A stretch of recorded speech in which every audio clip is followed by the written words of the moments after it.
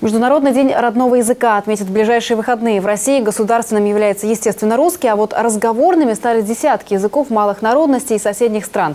Вспомнить их и посмотреть выставку, посвященную многообразию языковой культуры, можно в городском межнациональном центре. Анна Гурьянова узнала, что родная речь может быть интересной не только для лингвистов. Буквари и сказки, учебники по языкознанию, словари и разговорники – это не книжный магазин и не библиотека, а музей. Книги стали экспонатами выставки, но не потому, что являются антикварными изданиями. И вот представьте, ваша родная книга, родная речь на русском языке, родная речь на белорусском языке, на украинском, на татарском, на э, греческом, на финском. У нас сегодня очень много представлено.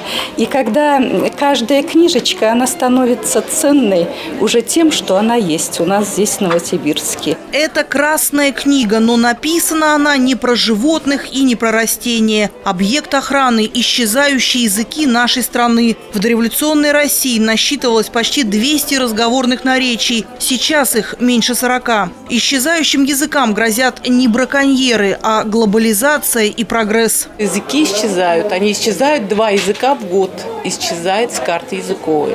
Поэтому, э, потому что не востребован, не востребован в общении язык, нет письменности, язык исчезает. Людмила Счастливенко родилась в Сибири, но свои белорусские корни не забывает. С детства говорит на двух языках и видит, как со временем более распространенный русский поглощает мову. Это наше счастье и наше несчастье, э, родность наших языков и похожесть наших языков, потому что счастье, что мы понимаем друг друга без переводчиков, да, что мы э, можем общаться легко, а несчастье, что мы ассимилируемся, потому что когда и так все понятно на русском, то уже белорусский может отойти. Лингвисты разделяют языки на несколько групп. Есть здоровые, это популярные современные языки, есть больные, которыми владеют лишь небольшие группы людей. На исчезающих языках и вовсе говорят единицы, а есть мертвые, утраченные языки. Их изучением и восстановлением занимаются ученые. Сохранять жизнь родной речи можно лишь передавая ее от поколения к поколению. У меня внучка родилась.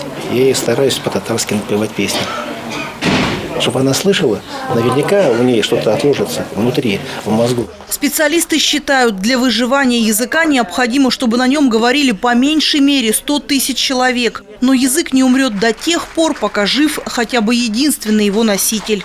Анна Гурьянова, Денис Савинский, Новосибирские новости.